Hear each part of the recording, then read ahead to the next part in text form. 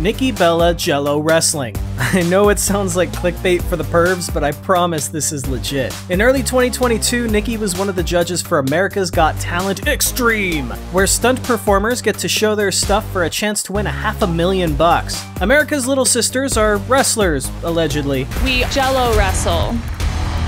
Oh. Turns out they actually meant wrestling against the Jello. Yikes. Suffice to say, they didn't get over, I, the- you, you came on the wrong show. prompting Nikki Bella to grab one of the contestants and land a pretty damn good snap suplex, showing her how it's done. Saving the segment, Bella even inspired former WCW star Terry Crews, true story, check the vid in the pinned comment, to join in. The Little Sisters didn't move on, I did the best I could, Terry! but the pervs finally got to witness